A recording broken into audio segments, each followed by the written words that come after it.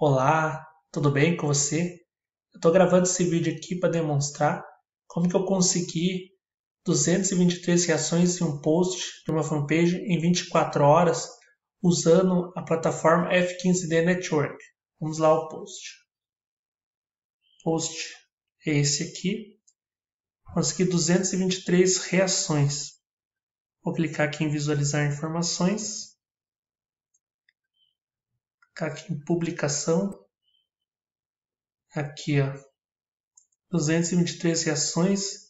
Somando reações, comentários, compartilhamento, deu 795 ações que aconteceram nesse post aqui.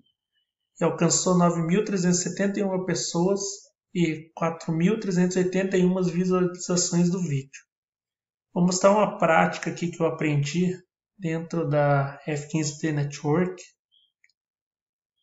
você vai ver aqui que tem 223 reações e tantos comentários aqui.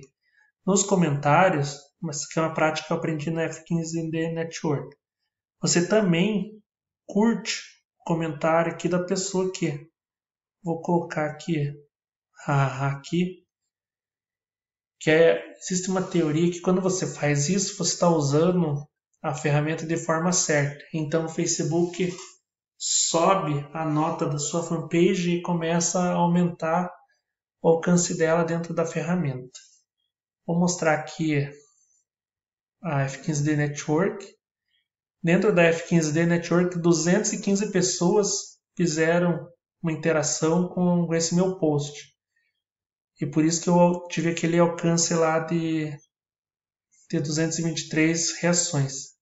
Se você quiser se você quiser fazer parte da F15D Network, entre em contato através do comentário nesse vídeo. Comente aí que eu te passo as instruções de como fazer parte da F15D Network. Valeu!